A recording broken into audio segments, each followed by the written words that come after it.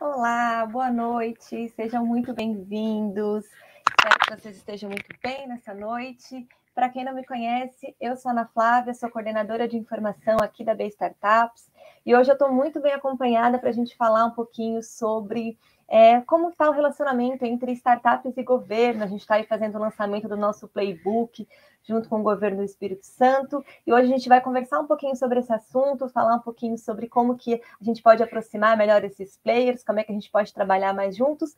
Mas eu não estou sozinha aqui hoje, então eu queria chamar os nossos convidados para o nosso bate-papo de hoje. Estamos muito bem acompanhados com o Espírito Santo, começando com a Nara, a Nara Kalimann, que é gerente do LabGES. Nara, boa noite, seja bem-vinda. Nosso papo. Boa noite, Ana, tudo bem? Boa noite, pessoal. Prazer estar aqui com vocês. Tudo bom? Estamos também aqui com o Elton Siqueira, que é diretor de inovação da FAPS, também do Espírito Santo. Elton, boa noite, bem-vindo. Ei, boa noite, Ana. Boa noite, Nara. Obrigado pelo convite. Olá. E também aí, fechando o nosso grupinho do Espírito Santo, temos aí o Denis Ferrari, que é fundador e CEO da Asis Inovação, que é uma aceleradora do Espírito Santo. Oi, Denis, boa noite. Boa noite, Ana. Boa noite, Nara, Elton. Obrigado pelo convite, gente. É uma honra estar aqui com vocês. E fechando aqui o nosso grupinho de bate-papo, também convido o José Muritiba, nosso diretor executivo aqui da B Startups, para bater esse papo com a gente. Boa noite, obrigado, Aninha. Boa noite, Nara, Elton, Denis. Boa noite a todos que nos assistem aí. Um prazer estar aqui com vocês.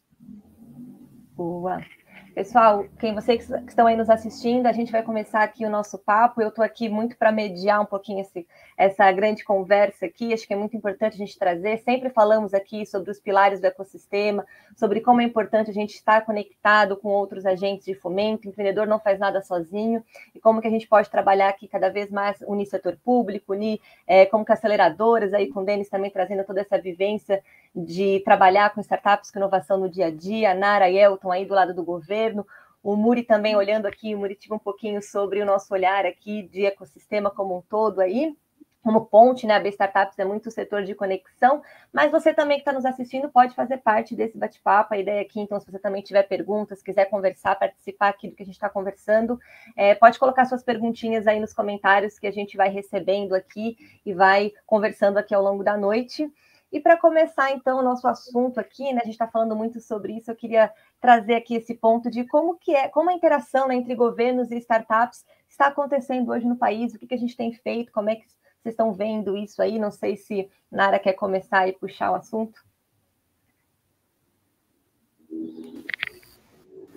Bom, é, do que a gente tem percebido aí do, desse movimento no país, eu acho que São Paulo puxou, né, essa essa, essa relação de, com o concurso de inovação aberta aí com o PitGov, é, e hoje evoluiu para o IdeaGov, tem trabalhado já desafios é, públicos com startups já há alguns anos, né, e é, a, o Espírito Santo vem trabalhando aí com a ABS nesse PitGov desde 2019, a gente vem é, evoluindo com esse edital de inovação aberta, trouxemos aí esses 16 desafios do governo do Espírito Santo, na verdade 15 do governo e um do Tribunal de Justiça do Espírito Santo, e aí a CEGER tem feito esse movimento dentro do governo do estado, aí em parceria com a ABS, já estamos evoluindo aí na fase de testes,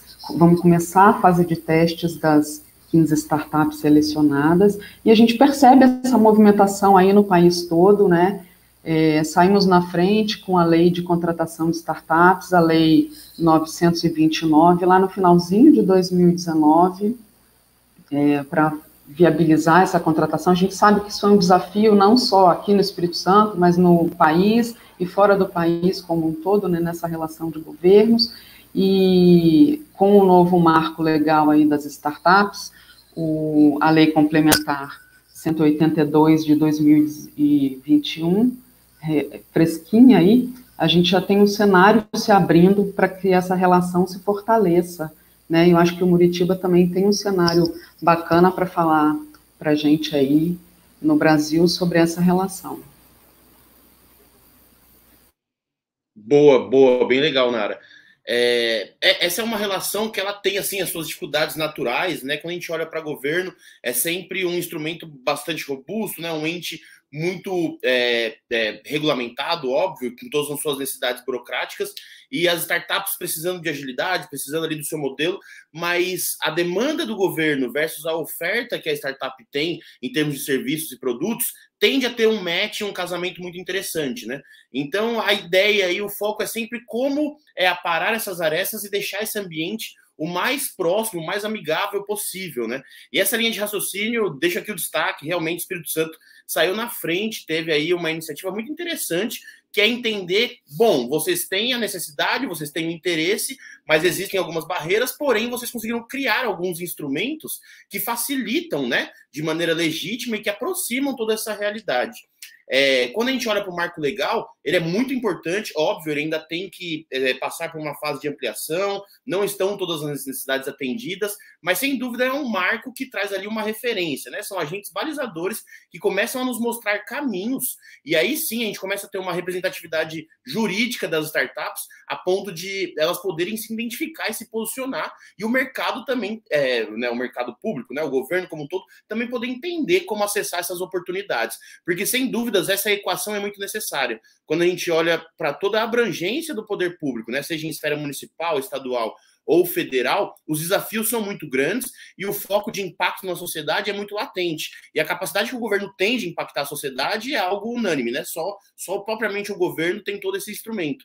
E quando a gente vê as equações de eficiência, otimização e principalmente é, impacto que as startups oferecem, esse conjunto, né, esse casamento, essa equação é, tem uma tendência longa, é, de longo prazo e tem uma tendência de dar muito sucesso. Então, ver essas iniciativas que acontecem pontualmente no estado do Espírito Santo, como algumas outras regiões, né? Santa Catarina tem algumas iniciativas, Pernambuco também, São Paulo tem alguns instrumentos também eficientes mas essa abrangência, essa robustez e esses instrumentos eficazes que vocês do Espírito Santo trouxeram, sem dúvida serve como referência para o resto do Brasil, para que outros estados, outros entes públicos possam é, se balizar e tomar como referência, tomar como essa atividade que eu julgo como pioneira de vocês, para essa aproximação, essa contratação propriamente dita, né? É, hoje as startups que participaram do PitGov estão tendo a possibilidade aí de prestar serviço, de ter o governo como um cliente dessa, dessa base dessas startups, né? E isso é transformador na vida do empreendedor da empreendedora.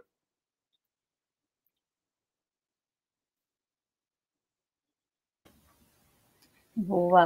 Aproveitando aí então um pouquinho, a gente está falando dessa relação, né? Um dos exemplos aí que o pessoal citou é o PitGov, né? O Espírito Santo, foi esse evento de inovação aberta aí para startups que aconteceu esse ano. E é muito legal, né, a gente aproximar os desafios que o governo tem ali pronto, junto com as soluções das startups, né? Então, como é que a gente faz esse match acontecer? E aí eu queria até que Denis e Elton talvez comentassem um pouquinho de como que tem sido essa experiência aí, né? O Elton do Pitgov, o Denis dentro do ecossistema e até de outras experiências, né? De startups e governo aí no Espírito Santo, como é que está acontecendo por aí? Denis, me permite, Denis? Manda ver, Elton. Bom, gente, é, a verdade, o, o, o PitGov foi praticamente um primeiro é, é, projeto é, feito, é, direcionado para o governo. Né? Na FAPS nós não temos, olhando aqui agora, não vejo nenhum edital específico para atendimento do governo. Apesar de que, é, não posso dar spoiler agora, lógico, mas nós estamos trabalhando numa, numa proposta bem legal aí, é, que em algum momento vocês vão estar sabendo, mas eu não posso dar spoiler, que vamos direcionar as startups, dar uma força para as startups que têm esse foco é, em apoio governamental, seja principalmente no nível estadual, que é municipal, desculpa, que tem uma carência muito grande, muito grande. O nível, o nível municipal necessita de apoio dessas startups. E assim, eu acrescentando um pouco que o Muritiba falou e que a Nara, eu acho que também a gente, a gente tem que olhar para o ecossistema como essa grande floresta, onde você tem que saber quem são os atores que estão ali dentro daquela floresta. A floresta está toda encoberta, alguns lugares da floresta estão descobertos. Se a gente olhar para a nossa região metropolitana, é, tá, tá legal, ela é uma floresta bem compacta, tem vários atores ali embaixo. Mas se a gente for olhar para outras micro-regiões do, do, do estado, nós vamos ver que a floresta está meio escassa, não tem uma floresta consistente ali. Então, o que eu estou querendo dizer é isso? É importante esse ecossistema, a gente manter o ecossistema junto. É, é a, a, o Espírito Santo tem essa característica por ser um estado pequeno, por todo mundo estar tá muito próximo, nós conseguimos saber tanto as necessidades do governo, a necessidade das empresas, a necessidade das startups, a necessidade da academia. Isso facilita o nosso direcionamento. Mas não é só isso, a gente precisa ver os resultados. É, por exemplo, os resultados que vão ocorrer daqui a um período é, o Pitgov, por exemplo, depois que, a, que, as startups atuarem, mostrarem os produtos, ainda vai ser analisado o resultado disso. E o resultado vai estar onde? É, a gente espera que o resultado seja no cidadão, na ponta, é o cidadão, de uma maneira geral. Né? É, ah, mas vocês estão apoiando startups que não têm um foco para o governo. Tudo bem, mas de certa forma tem que dar um retorno para a sociedade. Então, assim, é, esse, esse, esse envolvimento do ecossistema todo, para poder a gente ter uma noção para onde nós podemos ir, é fundamental. Então, eu acrescento essa na fala do, do Muritiba na área, eu coloco a importância dessa conexão do, dos atores dentro do ecossistema. É, eu acho que para. É, é, complicado falar depois do Muritiba e do, do mas assim, vou tentar complementar aqui. É, é normal que, ao se relacionar com pequenas empresas como startups iniciantes, tanto corporações quanto governo vão precisar de adaptações dos seus processos de compra, compliance, e isso é uma coisa que você vê no mercado privado e você também era de se esperar que você visse no mercado público com mais algumas considerações referentes às legislações específicas.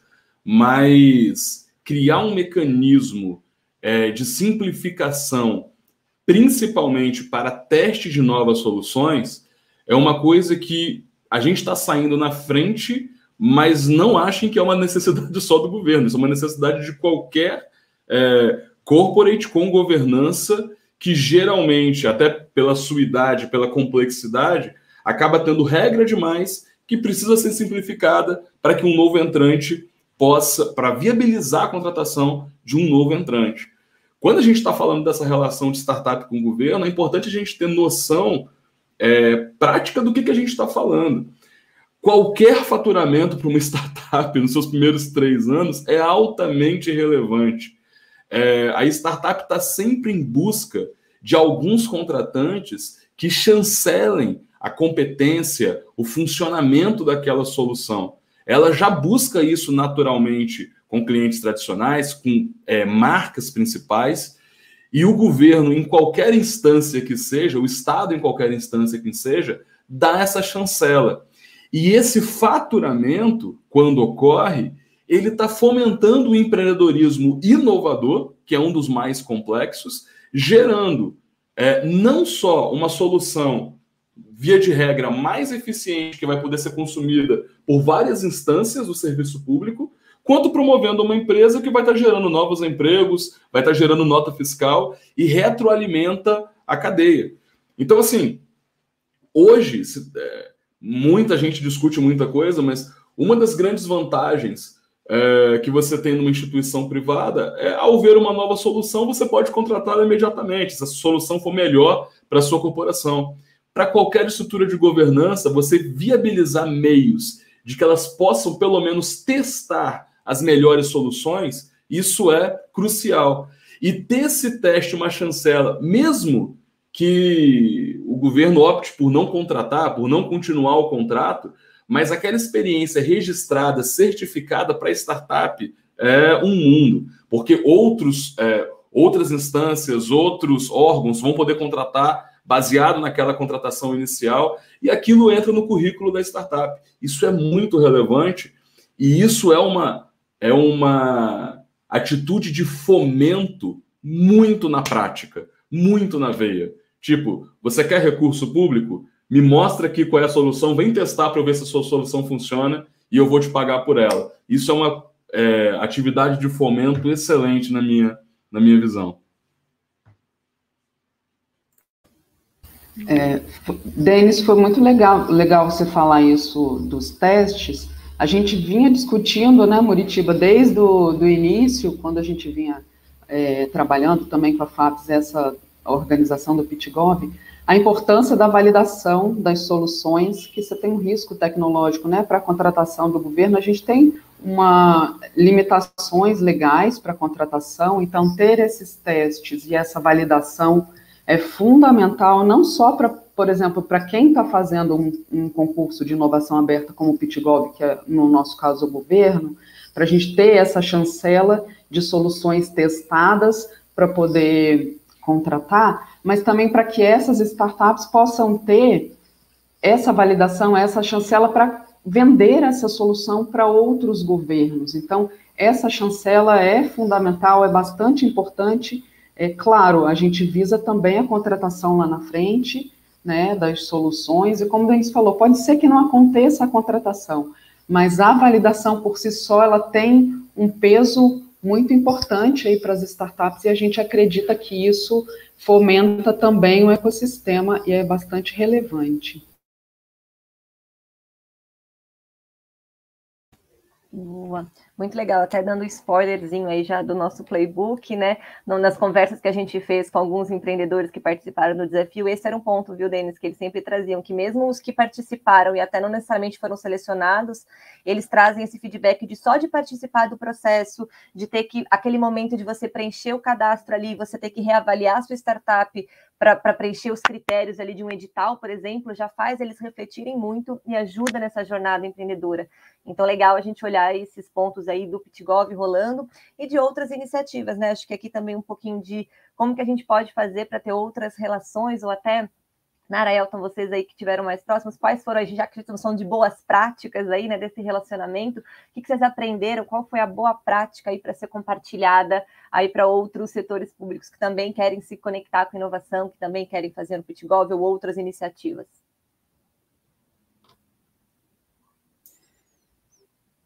Uh, bom, é, como eu disse anteriormente, né, nós não temos um edital específico, a não ser um que nós estamos trabalhando agora, é, mas eu, eu, assim, eu sempre vou pelo lado dos resultados, né? Eu, eu, gosto muito de poder olhar os resultados, porque assim, se você pegar, se me perguntar, ah, quanto que a FAPES investiu em inovação, eu vou conseguir esse número para você. Quanto a FAPES investiu é, nas startups de tamanho tal ou determinada posição da trilha, eu consigo esse número para você. Agora, se você me falar, me perguntar quantas startups é, Quantos negócios as startups com recursos que foram subvencionados, elas abriram de novos caminhos? Eu não consigo te responder. É, e isso é importante para a gente poder gerar políticas públicas, né? Para a gente poder direcionar o nosso investimento, fundamental.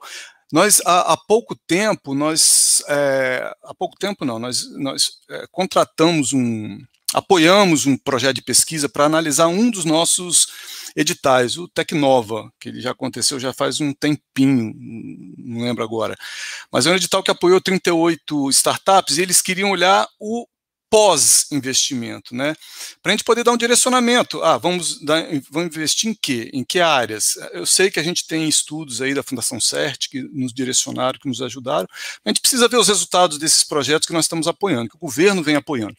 Então, assim, só para vocês terem uma, uma ideia de número dessas é, eu não lembro exatamente, eram, foram 38 empresas, se eu, não me engano, se eu não me engano, foram 13 milhões e 500 mil reais de investimento, parte da FINEP, parte da FAPES, e aí houve uma amostragem, acho que foram 27 empresas que participaram do, do, do projeto, do questionário.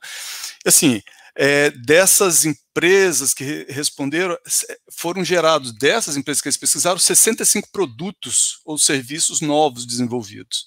Né? É, desses 65, 45 produtos foram comercializados. Esse foi um projeto da professora Érica, não posso deixar de comentar aqui, a professora Érica do, do, do IFES, é, Instituto Federal do Espírito Santo, campus Cariacica.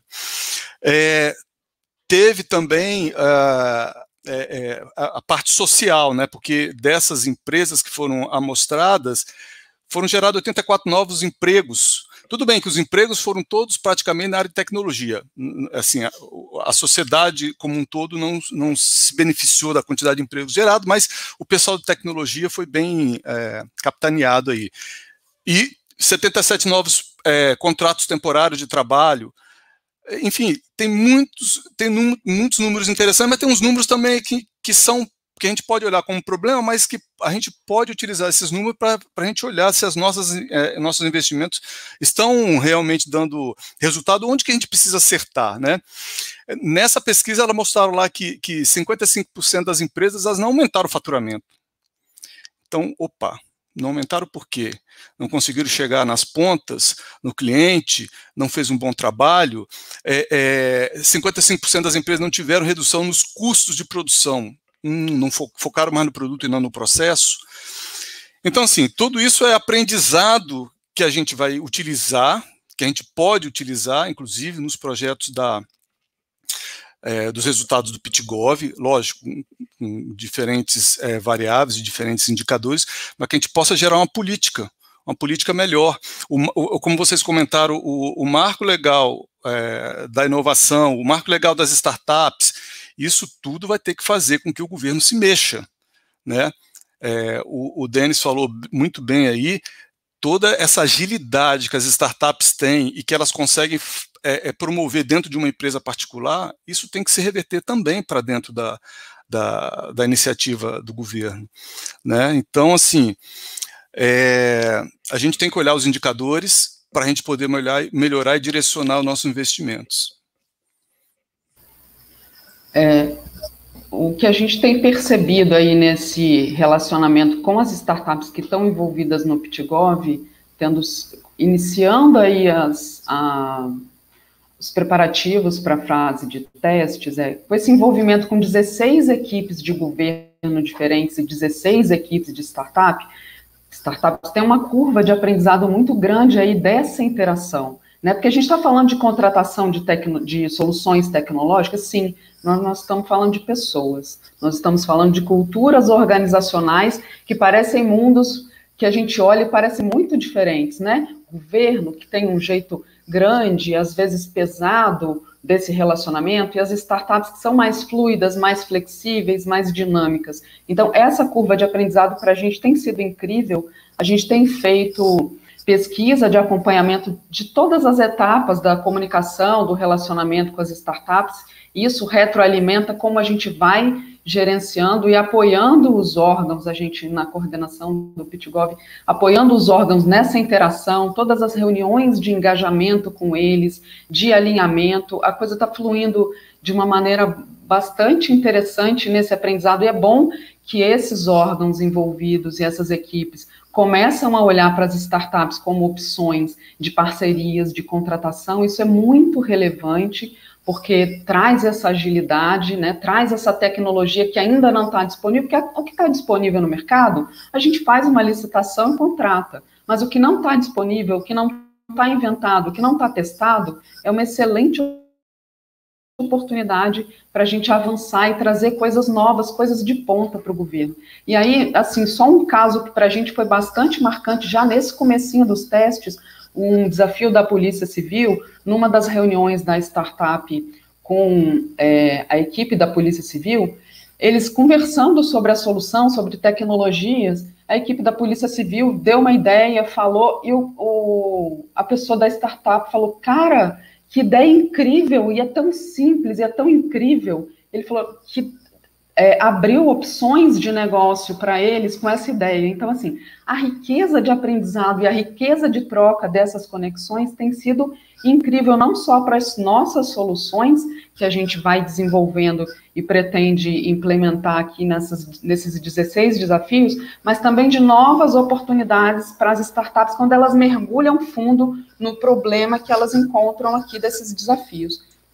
Então, tem sido um aprendizado gigante e também um crescimento de desenvolvimento de cultura e esse mix das culturas organizacionais, dos órgãos de governo com as startups é um processo riquíssimo aí que a gente está construindo e fica como legado desse PitGov para novos editais posteriores de inovação aberta com startups. Tem um, só um pontinho, né, Nara? É, é legal, bem bacana ouvir isso de você. Acabou que a gente é, não tinha conversado sobre esse caso, né? Então também nem tinha conhecimento, mas isso é transversal no mercado, que assim é, vocês estão trazendo para o governo Uh, bom, vocês estão primeiro fomentando o empreendedorismo, que é um instrumento né, de desenvolvimento socioeconômico comprovado aí, ainda mais diante de tantas dificuldades e problemas que temos no nosso Brasil, a capacidade do empreendedor solucionar esses problemas, então ter ele como instrumento é, gerador de renda, tributo, emprego, é sem dúvida alguma algo muito inteligente. Vocês estão tendo a oportunidade de trazer serviços, produtos, tecnologia, mas entra num campo intangível, e esse não existe. É, existe mas são KPIs muito diferenciados e são métricas é, muito ainda não comuns que vocês estão trazendo cultura ágil, cultura de um negócio é, escalável, cultura de quem tem capacidade de validar dificuldade, de validar é, solução, de validar problema, principalmente, e cultura desses empreendedores que têm a, a capacidade de olhar uma complexidade, por exemplo, quando você fala de polícia, é um dos desafios focados lá né, em segurança pública, é olhar para um tema tão complexo e nele encontrar uma solução com facilidade, algo simples, algo talvez rápido, algo que possa se testar com eficiência em um curto espaço de tempo. Isso é a cultura desse ecossistema de inovação, né? E isso é muito complexo, isso é difícil de se adquirir. Só que esse é um ativo muito grande que vem junto com todo esse legado né, da, da, do relacionamento com o ecossistema, e que é algo que, é, se não for através dessas experiências, é bastante difícil ser conquistado, é bastante difícil ser experimentado. Vocês estão, de fato, vivendo ali algumas experiências que são dia a dia dessas startups. E essa cultura sendo internalizada para dentro do governo, sem dúvida, traz para vocês é, um, um ganho aí bastante exponencial. É, Nara, é, foi legal você ter falado isso. É assim, dentre os, os, as, os projetos que a gente tem é, elaborado aqui dentro da FAPS para editais, um dos editais, é, que é o, o, edital de cluster que a gente está bolando, já está praticamente pronto, a ideia é fazer com que é, essas, essas startups elas sejam mais maduras, no, no sentido de que é, elas vão até os clusters, onde estão. O, o cluster, para quem está nos ouvindo, são aglomerações, vamos colocar assim como aglomerações de empresas de um mesmo setor, de uma mesma área, com o mesmo objetivo. Então, as startups vão nos clusters, identificar os problemas, evidentemente que elas já conhecem alguns, identificar os problemas daquelas empresas, daquelas organizações, empresas não, organizações, por exemplo, da área de turismo, por exemplo, ouvi-los e tentar colocar, apresentar soluções. Então, assim, eu acho que é, que é por aí. Ela, a, as startups ela tem que é, ouvir não só organizações privadas, mas organizações públicas, né?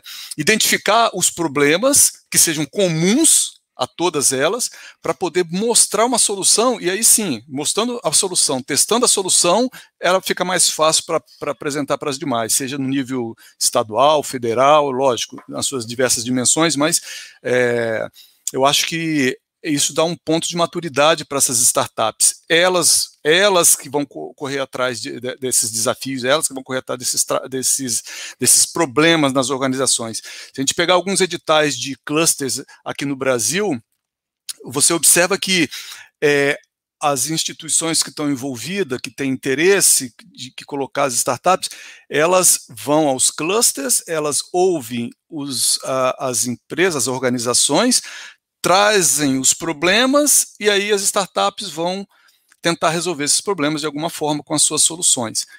Nós estamos querendo dar um passo além, maturidade maior. Então, elas vão atrás dos problemas, elas que vão mostrar quais são os desafios. Lógico, alguém vai ter que julgar, não pode ser qualquer coisa, um desafio qualquer com uma solução qualquer. Tem que ser uma solução inovadora, evidente. E, mas é isso, é, é nessa linha, da, da, permitir que elas sejam maduras e elas possam começar a fazer negócios. E escalar, né? Chegar num nível de escalabilidade tal que elas possam ter novos negócios.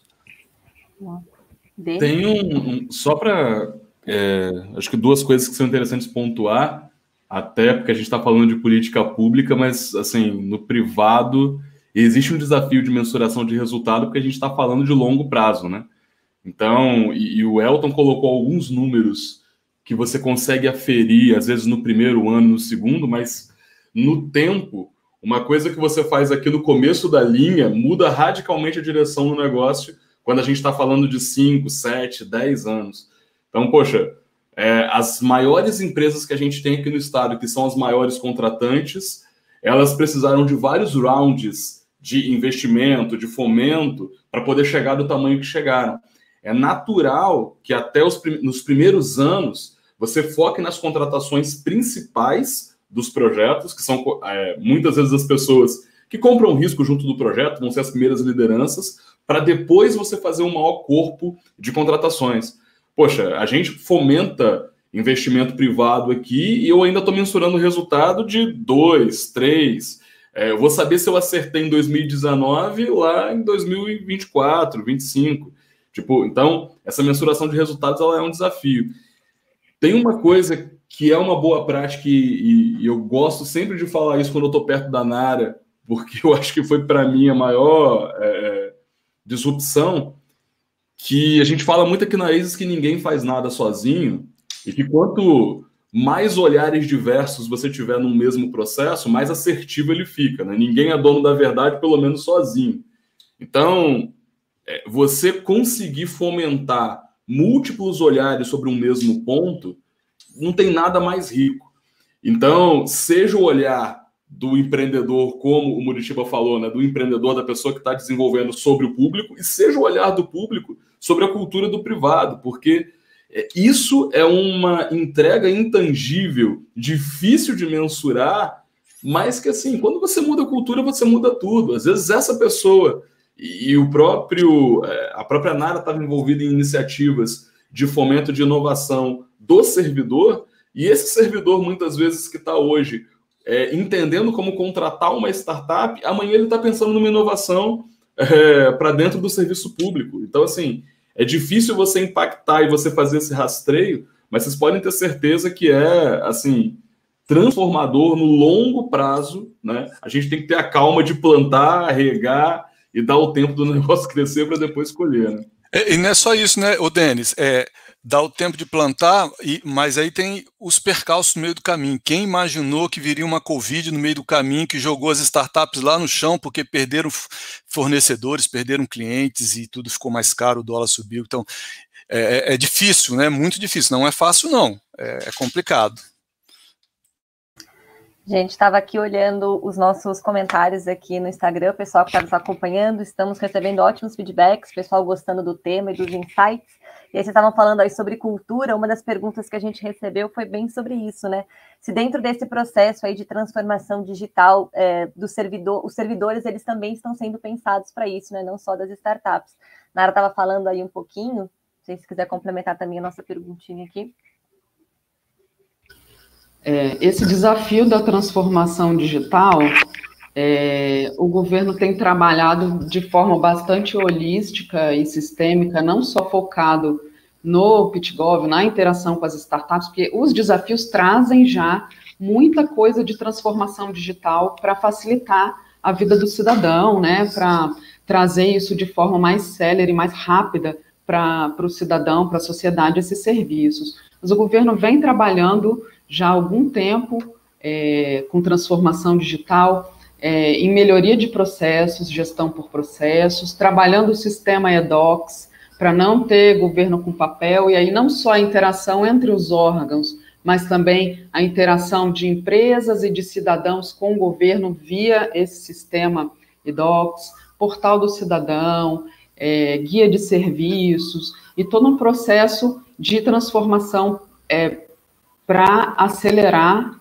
a transformação, para acelerar a transformação digital foi ótimo. Mas é isso mesmo, né? E existe todo um processo de transformação cultural que acontece também com os servidores, não só, porque não é só botar a tecnologia.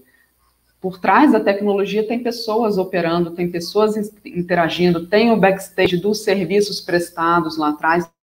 Então, o governo tem investido bastante em melhoria de processos, em transformação cultural, em capacitação para inovação. Temos feito trilha de inovação é, na escola de governo, na ESESP, todo um trabalho de escritórios locais de processos e inovação, buscando desenvolver os órgãos para estar tá pronto para a transformação digital. E aí é como uma rede de uma série de ações, né? O PitGov é um pontinho dessa ação, trazendo as startups e preparando junto essa interface com as equipes, evoluindo para testar essas soluções e possivelmente implantar depois, mas existe todo um trabalho por trás que é multissecretarias, não é só a CGE, né, não é só a FAPES, é um trabalho de uma governança grande, Prodeste, Secretaria de Controle e Transparência, e outras secretarias, eu vou acabar, a própria Secretaria de Ciência e Tecnologia, vou acabar não falando todas aqui, mas todas as secretarias estão envolvidas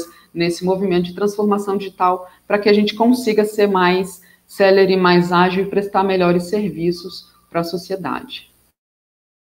E não podemos nos esquecer também que a parte jurídica, de certa forma, tem acompanhado a gente, né? A própria Procuradoria-Geral do Estado, ela está atenta à, à, inovação, a gente sabe que tem grupos ali dentro trabalhando com isso, buscando tentar adequar. Esse, o, o marco legal das startups trouxe esse sandbox regulatório, que é, é como se fosse uma máquina virtual, onde você está, vamos dizer assim, protegido de algum. É, porque inovação tem muito risco envolvido, né? Então o marco legal traz isso. E o pessoal também do PGE tem, tem prestado atenção, tem, de certa forma, ajudado também nas discussões. Boa, Elton, foi bom você ter lembrado da Procuradoria, porque esse, esse apoio jurídico para a gente faz muita diferença e eles têm sido também protagonistas na interação, na preparação dos marcos legais para que a gente possa é, interagir, contratar as startups tem sido fundamental. A gente tem falado aí agora bastante, né, nas nossas reuniões, na nossa live aqui sobre o Pitgov, e aí surgiu uma perguntinha aqui, né, de como que podem levar o Pitgov para outros estados ou outras conexões aí com o governo. E aí, Muri, você quer comentar um pouquinho? Boa, legal.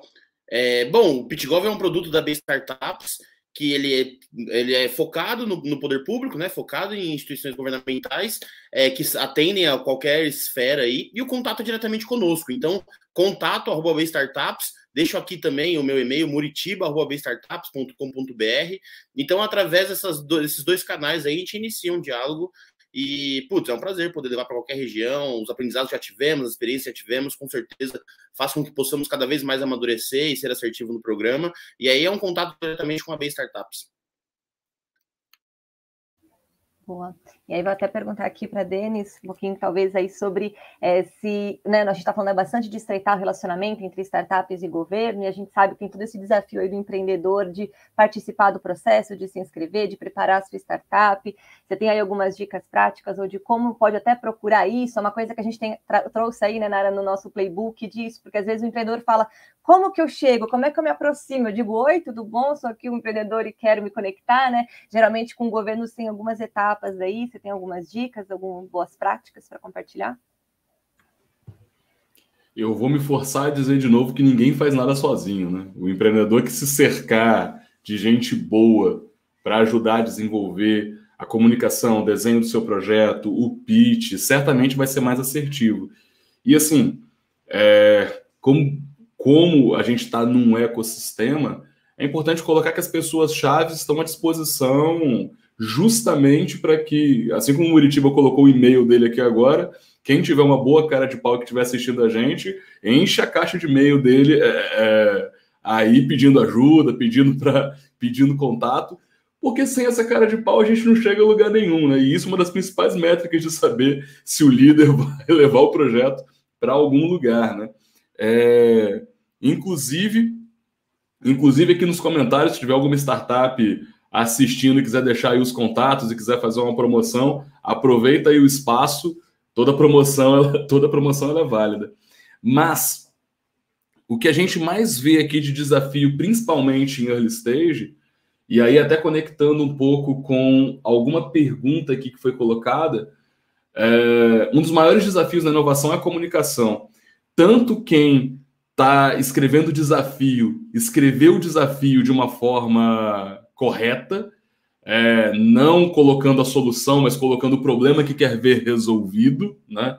É, de um jeito pouco técnico, de um jeito objetivo, mas de um jeito que as pessoas possam entender efetivamente o problema. E de quem tem inovação, tem por desafio se fazer entendido. É, poxa, como que a minha solução funciona efetivamente? Gente, é uma das coisas mais naturais do mundo você não saber comunicar. É, porque quando não está simples para você, quando você não entendeu completamente o que, que você tem, é natural que você não comunique tão bem. É... Então, quanto mais você se cercar de pessoas para te fazer as perguntas corretas, quanto mais você se cercar de pessoas para poder fazer os questionamentos é, certos, mais embasamento você vai ter para apresentar o seu projeto. A prática é o que vai levar à perfeição.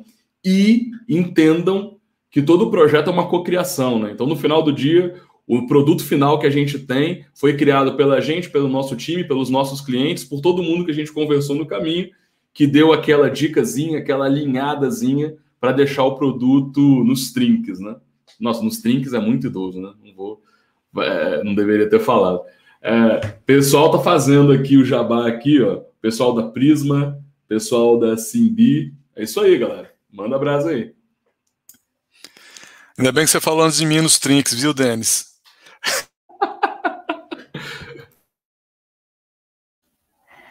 E tivemos mais uma pergunta aqui que a gente recebeu, que é como foi o processo interno para eleger os problemas para serem solucionados com as startups?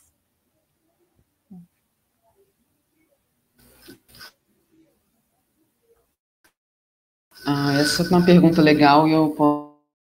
Trindade, que foi nosso gerente lá do LabGES e que como é que a gente fez a seleção desses desafios? A gente optou por uma escolha bottom-up, trazer dos servidores das secretarias e dos órgãos esses desafios e essas dores que mais apertavam o calo no sapato. Então foram feitas seis oficinas é, divididas em áreas temáticas, onde as equipes puderam trazer, né, ouvindo aí os seus os seus cidadãos, os seus usuários, quais eram as principais dores, os principais problemas. Então, nessas oficinas com design thinking, vieram aí uma torrente de mais de 200 desafios, né, num primeiro momento, em que os órgãos trouxeram, e aí a gente foi fazendo uma autoridade, capacidade de execução, quantidade de equipe para tocar esses desafios, recursos possíveis, prioridade, área de abrangência, enfim. E existe um núcleo gestor do PitGov, que ele é multissecretaria, e esse comitê, esse núcleo gestor, fez a pontuação com base nesses critérios, e aí a gente elegeu esses desafios, depois eles passaram por algumas análises junto com a ABS, que a gente olhava e falava o que, que são desafios pitigováveis, né? Muritiba lembra disso, do que era o que era possível, o que encaixava dentro do que era, são serviços que startups pudessem oferecer e que tinha a ver com o nível de maturidade das startups, enfim, do que o ecossistema podia oferecer. E a gente foi amadurecendo esses desafios com o órgão para entender melhor o problema. Muito legal o Denis falar isso, porque a gente não vai partindo da solução, a gente vai partindo do problema. Então, para entender com cada órgão esses problemas, e aí a última peneira com esse núcleo gestor e com os órgãos, arredondando os desafios, e aí a gente lançou esse edital. Então, foi essa construção de baixo para cima, né, não foi nada que veio da alta gestão, foi uma construção das demandas dos órgãos do que o, era a percepção de onde estavam as maiores dores dos cidadãos, das empresas e da sociedade. Então, acho que foi um ganho. Parece que demora muito tempo, ele foi um processo mais longo, mas a gente tem essa experiência de que os processos colaborativos, e como o Denis falou, ninguém faz nada sozinho, a gente capta melhores desafios. Então, foi foi um processo bastante rico para chegar nesses 16 desafios, e é bem legal contar isso, né? E, e Ana até falou antes dessa coisa da gestão do conhecimento, né? Como a gente é, passa essas boas práticas. Eu acho que esse playbook que a gente está aqui lançando hoje é uma referência grande para os outros estados, para municípios. E aí o Pedro, o Pedro até fez um comentário lá quando o Elton falou, de fazer isso chegar para os municípios, e aí falando bem da realidade capixaba, eu acho que a gente deixa uma referência bem bacana aqui de boas práticas com esse playbook. A gente também tem todo um aprendizado no LabGES de gestão do conhecimento, de deixar isso registrado. Então, a gente também fica sempre à disposição dos municípios que desejem conhecer, entre em contato com a gente aí. é, nossas redes sociais, arroba Labges, a gente está super à disposição, fazendo visitas técnicas virtuais, conversando, fazendo alinhamentos, fazendo eventos, já trouxe meetups para discutir contratação de startups, a gente está sempre fomentando isso e tentando deixar esse legado também, não só para o PitGov em si, mas para o governo, para outros possíveis, outros possíveis editais que a gente vai lançar depois, então vamos construindo esse, essa rede de conhecimento e também essa oportunidade de disseminar para os órgãos e para os municípios que desejem, a gente está super à disposição. Só pontuar nos comentários aí, o Thiago Damiani é um dos meus meninos lá da Asus, ó. Tá fazendo a propaganda da startup. Boa, Thiago. Tamo junto. Oi, Thiago fez perguntinha. Ele fez, ele é CEO da LicitUp, ele falou aqui um pouquinho sobre, e ele falou, Nara, pode falar um pouco como está a regulação da lei de contratação de inovação e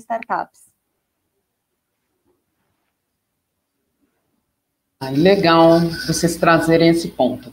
É, a gente estava evoluindo na construção dessa regulamentação, desse decreto, ele já estava em fase final de construção, e aí veio o novo marco legal federal, né, a Lei Complementar 182, e aí nós estamos em discussão com a PGE, adaptando a minuta de regulamentação que a gente vinha trabalhando anteriormente, adaptando ao que a lei trouxe. Ela trouxe alguns pontos divergentes do que a gente é, tinha feito. Então, nós estamos nesse trabalho junto com a Procuradoria. Nessa semana está voltando aí o processo, e aí estamos falando de processo, para além das conversas, tudo na gestão pública funciona por processo, voltando o parecer da PGE nessa semana para a gente, com os comentários, as observações jurídicas, para a gente avançar e lançar esse regulamento quanto antes, essa regulamentação, porque já facilita esse relacionamento. Mas a gente teve esse tempinho aí aguardando a lei federal sair e esses arredondamentos para a gente lançar uma coisa mais condizente com a, o que determina aí a lei federal que, tá, que rege, né, como a 8666, rege as contratações públicas, então a gente está adaptando a essa novidade aí. Show.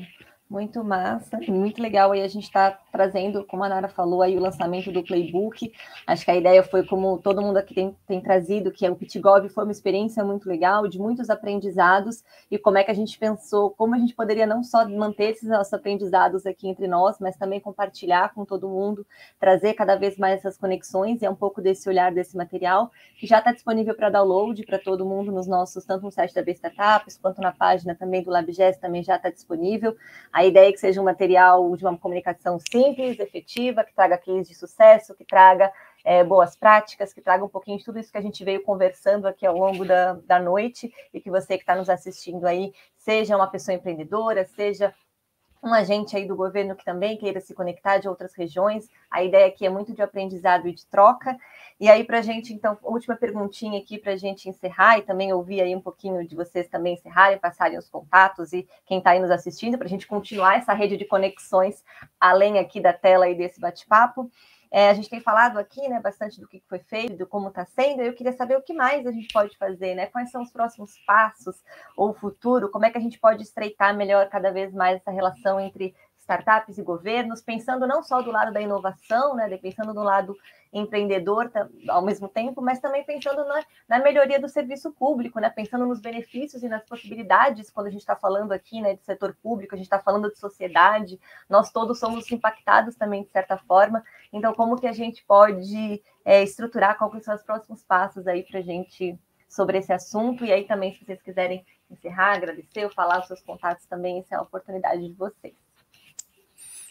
Bom, é, eu vou fazer já um, uma propaganda né, da FAPS, né? Lógico, não poderia deixar de fazer. Que nós vamos estar lançando ainda esse semestre. Aí as startups que estiverem nos ouvindo, por favor, fiquem atentas às nossas redes sociais. Já deve estar bombando essas nossas redes, o Instagram, Facebook, enfim. É, esse semestre nós vamos lançar ainda um, o primeiro programa de aceleração de startups do Espírito Santo, o CID, é, nós vamos estar lançando Centelha, Centelha 2. Nós vamos estar lançando mais dois editais, ainda não posso dar muito spoiler, mas um eu já comentei com vocês, que é o do cluster. É, o outro ainda não. Já está até escrito o edital, mas ele ainda não foi aprovado. Mas, de qualquer forma, então, eu, eu, gostaria que vocês ficassem bastante atentos aos editais. Você sabe que os editais da FAPES, principalmente o Centelha, foi um sucesso, tem ajudado muitas startups uh, né, é, é, capixabas, é, e ela não fecha para ser, ser governo, não é governo. Então, fique atento às nossas redes sociais e, em qualquer momento, nós estamos dispostos a ouvi-los, uh, e tentar atendê-los e fazer essa ligação mais direta aqui com, com a Nara, uh, ouvir o, o, ecossistema, com o Denis na ASIS, o, o Muritiba na B Startup, eu acho que todo mundo, seja aqui do estado ou de fora, a, a experiência passada é muito importante para nós, para a gente poder evoluir, porque ideias nós temos o tempo todo, né? Às vezes a gente não consegue botar em prática por causa do tempo e da quantidade de pessoas e demanda, mas nós temos ideias o tempo todo. É isso.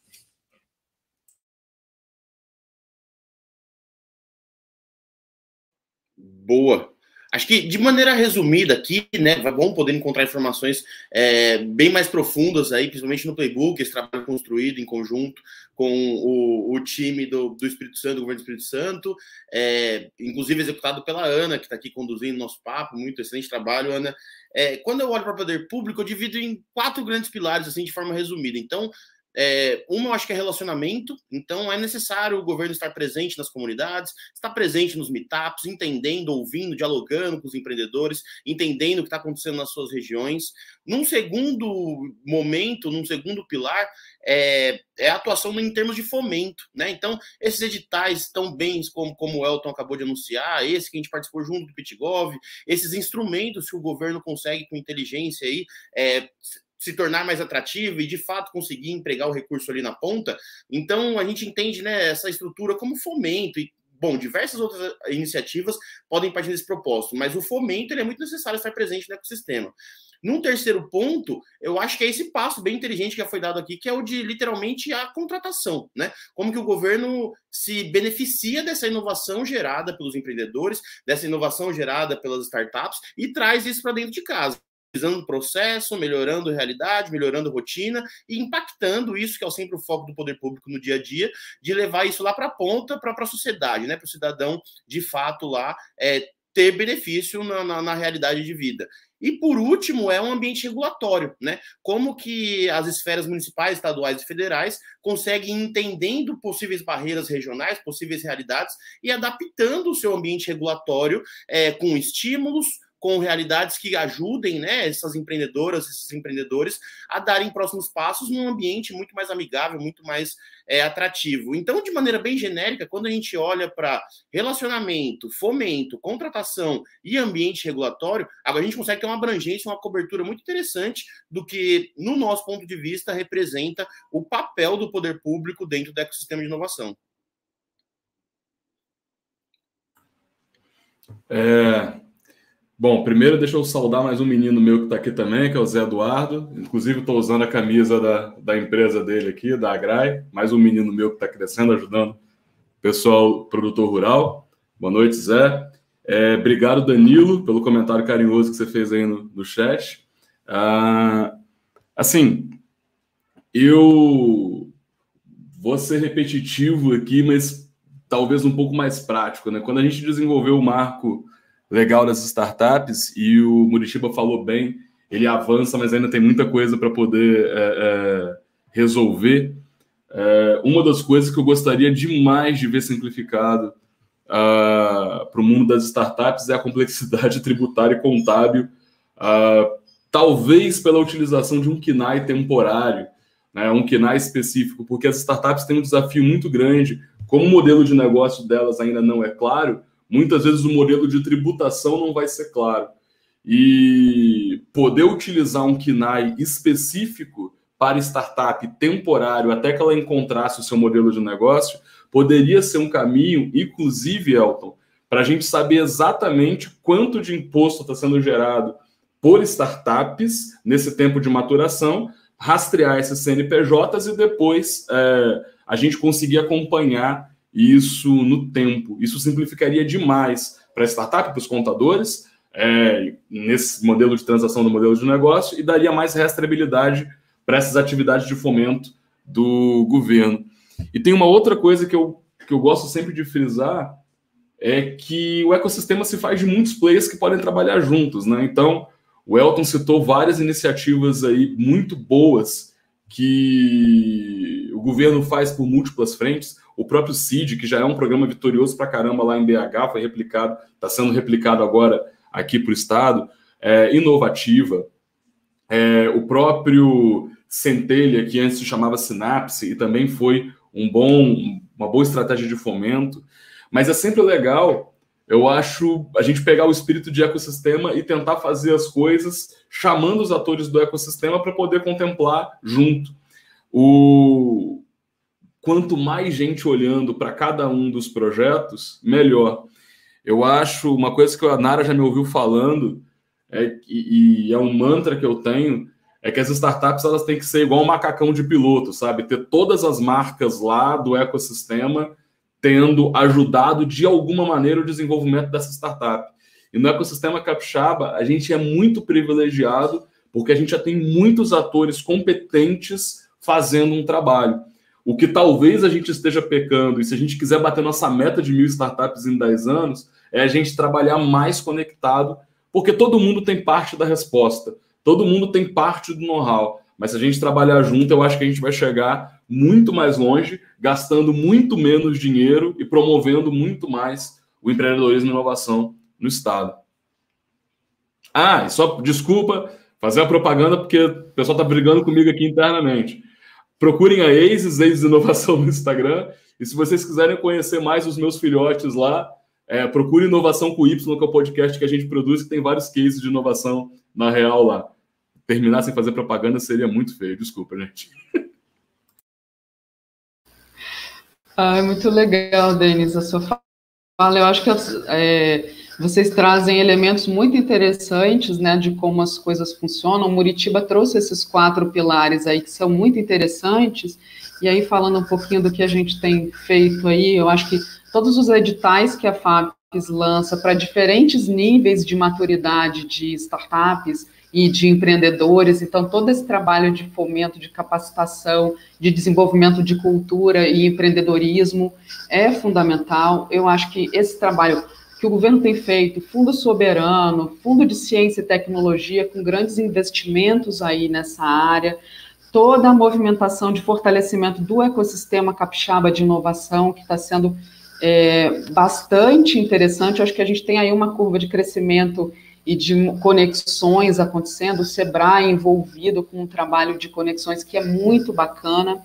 É, eu acho que isso fortalece demais o Denis fala, a gente está sempre falando de conexões, de estar tá junto, de, de interagir com o ecossistema, um aprendizado coletivo, ele supera muito o individual, a gente tem grandes contribuições aí, né? E eu acho que voltar a falar é muito importante nesse nível de conexões, o, a dimensão cultural, a gente está falando de pessoas, né? Então, são as pessoas que fazem as coisas acontecerem. Então, as conexões realmente são fundamentais.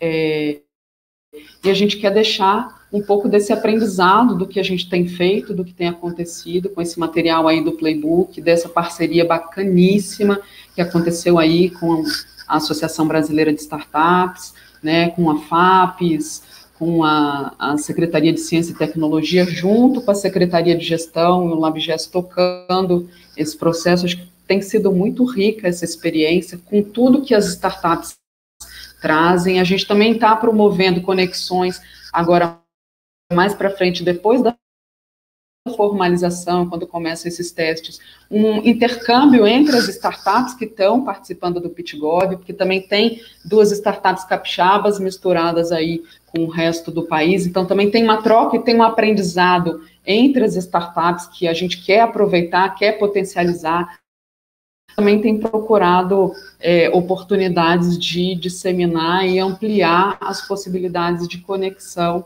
E é isso, o recadinho já dei com relação a procurarem o LabGES, estejam à vontade, arroba LabGES, nas redes sociais, no LinkedIn, Instagram, site labges.es.gov.br, também tem lá todo o histórico das, das etapas do PitGov também, tem o playbook lá disponível, e a gente fica à disposição para vocês e também querendo contribuir e muito feliz com os resultados que a gente obteve aqui com essa parceria do PitGov, esperando muito mais aí pela frente.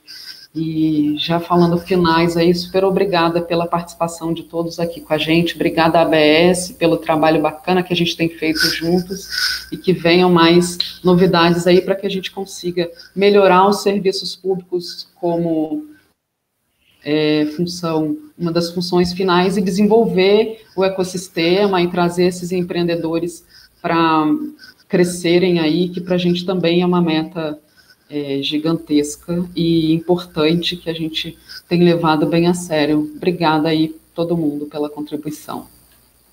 Com certeza, muito obrigada, Nara. Com certeza estaremos juntos.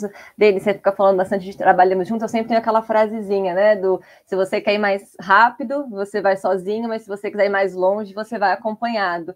E acho que é muito esse o sentimento de ecossistema e de que a gente vem falando aqui nessas discussões e com todos os players. Eu sempre, isso como mantra aí do ecossistema. Muito obrigada, gente, pelo papo, muito bom. Senão a gente estenderia aqui por horas, mas vamos encerrando aqui com o pessoal. Então, Nara, Elton, Denis e Muri, obrigada pelo bate-papo, pela presença. Como vocês já passaram esse contato, vocês que estão nos assistindo podem continuar conectando aí com eles. E fica aqui o meu aviso final, né, para vocês que estão tá nos assistindo, como, eu, como nós comentamos aqui, essa é uma iniciativa para o lançamento do playbook, né, de como startups e governo podem trabalhar juntos. Esse material que foi construído aí junto né, a B Startups e todo o governo, aí, todo o time do Espírito Santo, do PitGov. Todos esses aprendizados estão disponíveis para você de qualquer região do Brasil, disponível para download gratuito, tanto no site da B Startups, então www.abstartups.com.br, como também no site do LabGES, então www.labges.es.gov.br. Vocês já conseguem baixar esse material, acessarem esse conteúdo, compartilharem com sua rede. A nossa ideia é cada vez mais gerar informação de qualidade, é, trazer cada vez mais relevância e conexão para todo o ecossistema. Os nossos canais estão sempre abertos e disponíveis para você, pessoa empreendedora, você de governo ou de qualquer outro pilar aí do ecossistema que também queira se conectar com inovação. Esse é o nosso trabalho, a gente está sempre aqui à disposição. Se você é uma startup que está me assistindo, também fique, acompanhe as nossas redes sociais da B Startups, está rolando o nosso mapa das startups 2021, a gente está captando aí é, informações de startups de todo o Brasil para o nosso mapeamento. É importante também representatividade, inclusive para governo, para políticas públicas, para tudo que a gente conversou hoje. É muito importante ter a sua participação. Então, se você ainda não respondeu a pesquisa, ela está aberta até o dia 19 de setembro em todos os nossos canais da B Startups. Você consegue entrar lá, participar e garantir a sua representatividade em todo o Brasil. É isso, gente. Eu queria agradecer você também que ficou até aqui nos assistindo. Deixe seu comentário, seu joinha, nos ajude a engajar aqui no YouTube e a gente se vê na nossa próximo conteúdo, nos nossos próximos materiais aqui da B Startups. Boa noite para todo mundo e até mais.